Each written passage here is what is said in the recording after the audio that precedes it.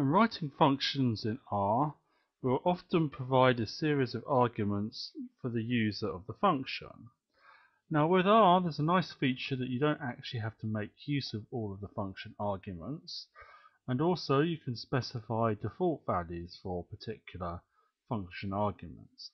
Now there may be some situations where, for example, an argument has to be positive or some other condition, and what we can do is we can make use of control structures such as the if statement to check whether a particular condition has been satisfied for a particular function argument.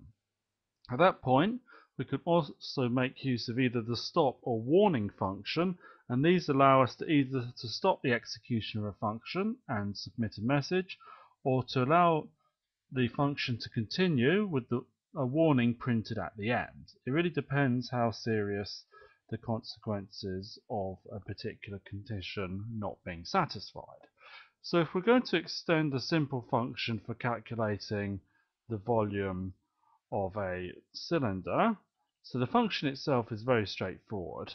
We've got the height and radius that can be specified by the user and these are combined to calculate the volume of the cylinder.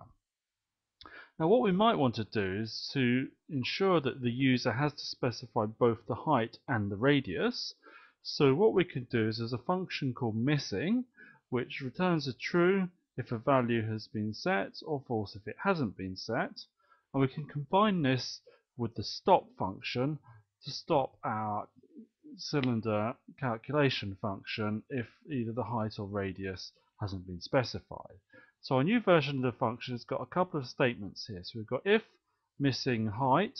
So if this is um, true, so that the height is missing, then we run this code here. So stop. The function calculation will stop, and we'll print out this message here, so that the user knows they have to specify the height of the cylinder for the calculations to be made. Similarly, the code for missing radius is put down here, and it's very straightforward to be able to um, creates that simple check. So what we can do is if we run the function here by specifying a height of 7 units, then we get the message coming back in, error in cylinder volume 2, need to specify radius of cylinder for calculation, and similarly if we submit the function just specifying the radius, we're now told that we need to specify the height of the cylinder. Now we can extend this function further by adding a couple more checks on the height and the radius, as we'd expect both of these values to be positive. So we've got another pair of if statements here where we're checking whether the variable height is less than 0, and if it is, then we return this message here, negative height specified, and if radius is less than 0, we have negative radius specified. Because we've already checked whether these variables are missing and stopped if they are, this condition will actually have a value to test against 0.